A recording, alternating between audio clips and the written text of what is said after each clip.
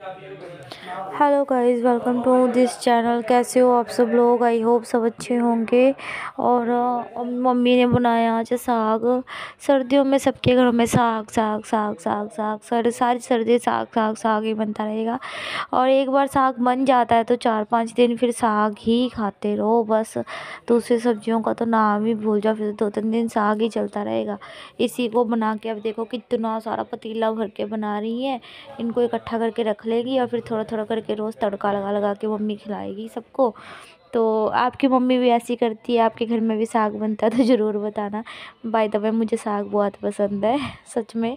पहले मैं बिल्कुल नहीं खाती थी साग, लेकिन जब मैंने खाना स्टार्ट किया, फिर तो मैं, अभी मेरे मुँह में पानी आ गया बात करते करते तो साग मुझे बहुत ज़्यादा पसंद है, और मम्मी के हाथ का तो मुझे और भी ज़्यादा पसंद है। बाकी किसी के घर का साग आता है ना जब भी, तब मुझे इतना पसंद नहीं आता। वो, लेकिन मैं अपनी माँ के हाथ का खाना पसंद आता है, पता नहीं क्यों। मम्मी पता नहीं बनाती है किस स्टाइल से खाना सबको मम्मी के हाथ का खाना पसंद आता है। घोटन घोटन लगी हुई है। मैं तो कभी भी इतनी मेहनत ना करूँ साग बनाने में। मतलब मैं तो खाऊँ ही ना। बनाना तो दूर की बात है। अगर इतनी मेहनत करनी पड़े, मैं तो सोचूं, छोड़ो यार, क्या खाना? और बहुत सारी चीज़ें हैं दुनिया में खाने के लिए। ज़रूरी नहीं है साग ही खाना। स्पेशल है कि ये बाल्टी मम्मी ने साग के लिए रखी हुई है। इसी में साग धो के, इसी में बनाती हैं। इस बाल्टी को सिर्फ़ और सिर्फ़ साग धोने के लिए ही यूज़ किया जाता है हमारे घर में। और अभी देखो, हम इतनी सारी मिर्चें, लहसुन अदरक, अब देखो तो उसे कितनी सारी मिर्चें लहसुन अदरक डालेंगी। भाई, पता नहीं सच में पूरा कोटा इसी में पूरा होने वाला है, मिर्चों वाला तो सारी मिर्चें इसी में जाने वाली है साग में। और फिर कहते हैं हाई मिर्च हाई मिर्च। फिर फीका फीका साग वैसे स्वाद भी नहीं लगता लगता तो मिर्ची वाला ही अच्छा। आपके घरों में भी ऐसे साग वगैरह बनता हो तो मुझे बताना। साग के साथ मक्की की रोटी, लस्सी हो होए मज़ा आ जाए जमा।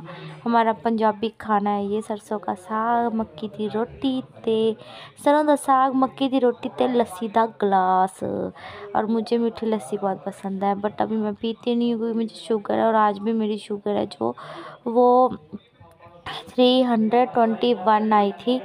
तीन सौ इक्कीस आई थी शुगर मेरी पता नहीं तीन सौ इक्यालीस थी।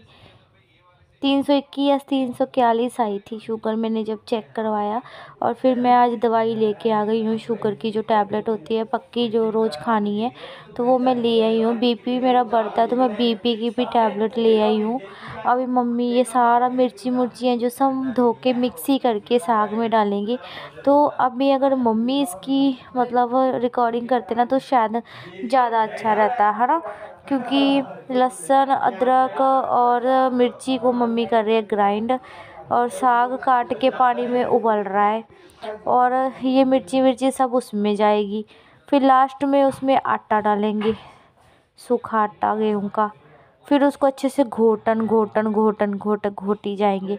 फिर घोट घोट के, घोट घोट के उसको वो साग बन जाएगा, एकदम पतला पतला फिर उसके, उसमें प्याज, लहसुन, हरी मिर्च, टमाटर सब फिर से डाल के फिर से तड़का लगा के और साग खाने के लिए रेडी हो जाएगा। बिना तड़के के तो साग अच्छा नहीं लगता, तड़का लगा के ही अच्छा लगता है। तड़का लगा के सरसों के तेल में और उसमें देसी घी डालो, मक्खन, आए हाय, मक्खनी डाल के कभी खा के देखना। मस्त मस्त। और देखो, अभी मम्मी डाल रही है इसमें नमक। है? नमक भी ऐसे डाल देते हैं बीच में। ये तो मुझे आज ही पता चला कि नमक भी मिर्च मिर्च में ऐसे डाला जाता है।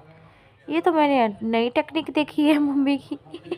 सच में मुझे नहीं पता था नमक ऐसे डलता है बीच में। ओ, इतना सारा। हाय, ये क्या डाल रही है मम्मी? मुझे नमक तो लग नहीं रहा। मम्मी से पूछूँगी, मम्मी ने क्या डाला? है तो ये नमक ही। हाँ ये नमक ही है यार। डब्बा तो ये नमक का ही है। फिर वो पेस्ट बन गया। डालो जी साग में। डाल दिया साग में पेस्ट। अभी मैं दवाई लेके लेटी हूँ और मुझे अच्छे से दिख नहीं रहा, फिर भी मैं एक आँख बंद करके एक आँख से देख रही हूँ क्योंकि मेरी ना शुगर बढ़ जाती है ना तो मेरी आँखों के आगे धुंधला आ जाता है और मेरी आँखों के आगे अभी धुंधला धुंधला आ रहा है। और मेरी जो स्पेक्स है वो बाहर रखी हुई है, बाहर अभी मेहमान आए हुए हैं, मम्मी और बातें कर रहे हैं, बाहर चाची होनी सब आए हुए हैं मेहमान बाहर तो मम्मी और चाची और सब बाहर बैठ के बातें बातें कर रहे अपना। इसलिए आवाज़ें आ रही होंगी भी वॉइस रिकॉर्डिंग कर रही हूँ। मैं अंदर बैठे, यहाँ पे मम्मी साग वाग चढ़ा के, नहा के आई लगती है, बाल बाल गिले हैं और आंटी सफ़ाई कर रही है। आंटी को मैंने हमने, मैंने कह रही हूँ, हमने सफ़ाई के लिए रख, लगाया हुआ है कि चलो मम्मी से नहीं होगा और सर्दी सर्दी काम जब से मम्मी का ऑपरेशन हुआ है, नाक का, तब से काम वाम कमी करने के लिए कहती हूँ मम्मी को मैं। कोई नहीं, काम वाली आंटी इसीलिए लगवाई है कि चलो थोड़ा हेल्प हो जाया करेगी। फिर भी मम्मी को किसी के हाथ का काम पसंद ही नहीं आता, उसको यही है बस, मैं खुद करूँ, मैं खुद करूँ, मैं खुद करूँ, खुद ही लगी रहती हैं। तो आंटी का काम पसंद ही नहीं करती, मेरा भी नहीं पसंद करती। मम्मी किसी का किसी का काम नहीं पसंद करती। पता नहीं हमारी भाभी कि मम्मी उसका पसंद करेगी कि नहीं? मुझे लगता है मम्मी को किसी के हाथ का काम नहीं पसंद आता, खुद का ही पसंद आता है। हाय रब्बा, मुझे आने लगी है नींद, मेरी हो रही आँखें बंद। वॉइस रिकॉर्डिंग का मैंने कर दिया, पता नहीं क्या कचरा कबाड़ा।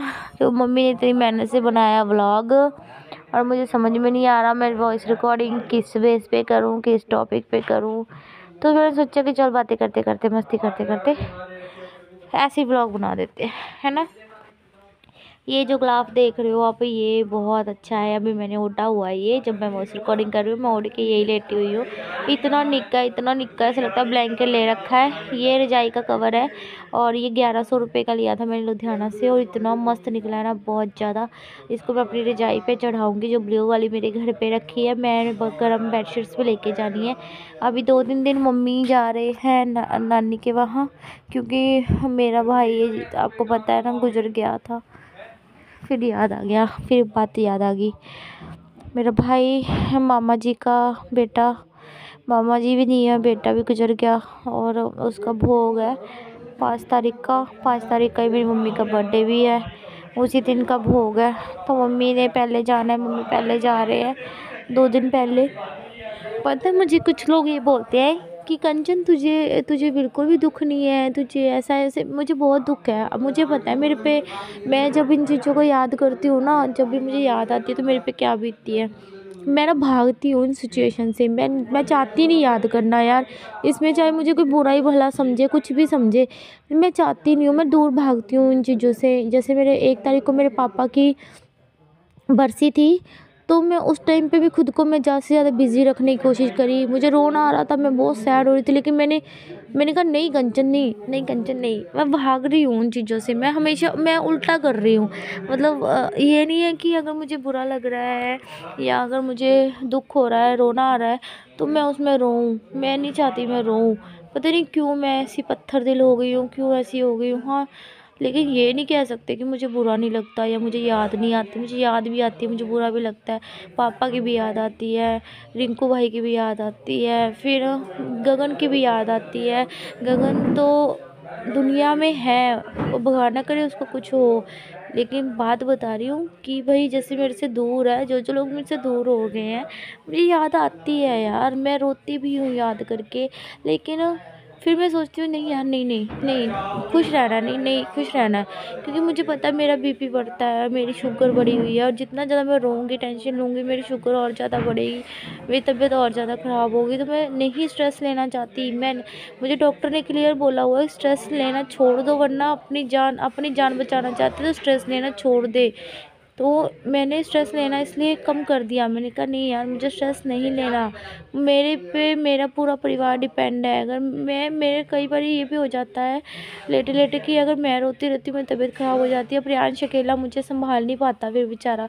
अब उसके लिए मुझे जीना है। मेरी बहुत टेंशन रहती है। दिन रात मुझे ये टेंशन रहती है। हाँ यार, कैसे पैसे, इतने सारे पैसे कहाँ से लाऊँ?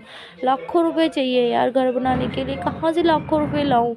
इतना तो मेरा चैनल भी नहीं चलता है। यूट्यूब से मैं कमा सकती हूँ। लाखों रुपए। लेकिन लोग सपोर्ट करें तभी ना। अगर आप लोग सपोर्ट ही नहीं करते हो तो फिर मैं कहाँ से कमा लूँगी यार? अब तो मुझे ये रहता है, घर का खर्चा पूरा हो जाए। जब पता नहीं क्यों लोगों को क्या देखना पसंद है, क्या दिखाऊँ।